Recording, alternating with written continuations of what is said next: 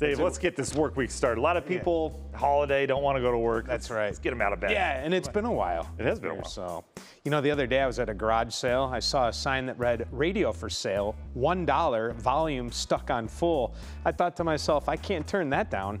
Oh, Jeez, that's so good. Oh, All right. That is good. That's good, Dave. Uh, Dave, I thought my kids played a magic trick on me over the weekend. Uh, we were playing catch with a frisbee. Yeah. I was wondering why the frisbee kept getting bigger and bigger, and then it hit me. What a start. Are you okay? Oh, just fine. Yeah, yeah a little sore. Are you all right with good. those, Isabel? Those are good, you Okay, guys. all right. Happy Monday.